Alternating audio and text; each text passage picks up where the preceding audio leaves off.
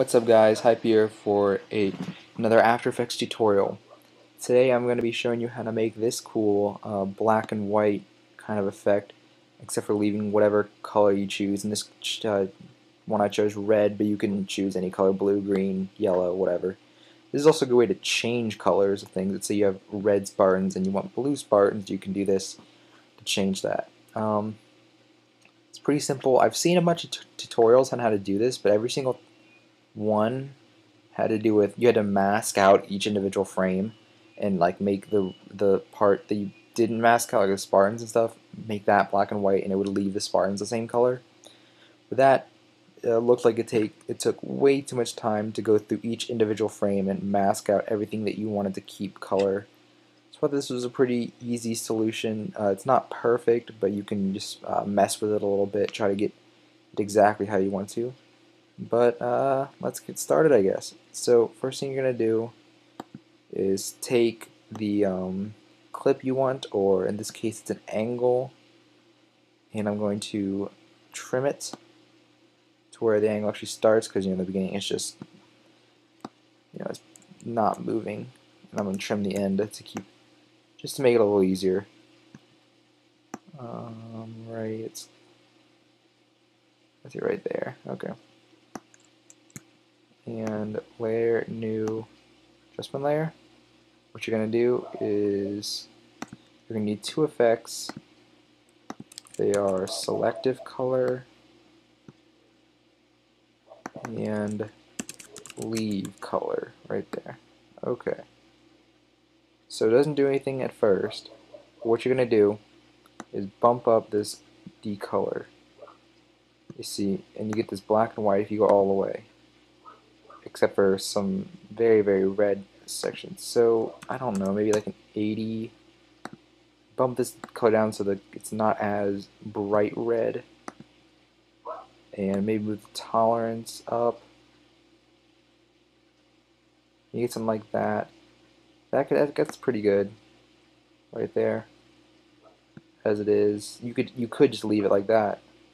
But if, to really get the uh, exactly how you want it, you can uh, you know change this. You can you, know, you can get a darker red or a, a bright red. It's really just up to you on what you are looking for. Or you can sit here and change the color, make it yellow, or maybe a gold, or I don't know, a white. It's really, this is really a, a good way to, you can, you can, always darken things or lighten things with the black. I think it's just a really, so basically what it is is this, the leave color gets you the effect, and the um, the selective color lets you pick which color you want. So you can always just you know mess with it a little bit. And let's say you want it to be about 30. I think that's what I had earlier. Maybe amount of decolor, you might want to drop down to 75 or so. Maybe keep it at 100 so everything is completely black and white. When you bump down or up the, see something like this. I don't know. You really just have to mess with it. It's at exactly. Maybe you don't want it completely at a at 100. Maybe you want it like at 80. And that's really the effect, guys. I think I actually had it at 130, negative 67. So, I mean, as you can see, it's not perfect. Actually, I it a darker red. Something more like this, maybe. As you can see, that kind of messed it up a little bit, but and I had those at 100, so you really just have to go through and mess with everything. You know, you get something like that, maybe, or maybe you think that's a little too strong of a red. Maybe you want to uh, lower the red down.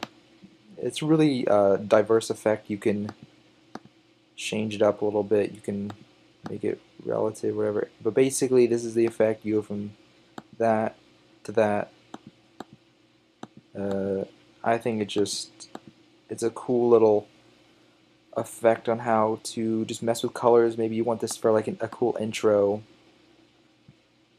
Maybe you want to um, do this for angle, an angle or something, uh, or just like a, a one-clip edit where you're trying to use cool effects or kind of like an I don't want to say artsy, but kind of like a different kind of edit.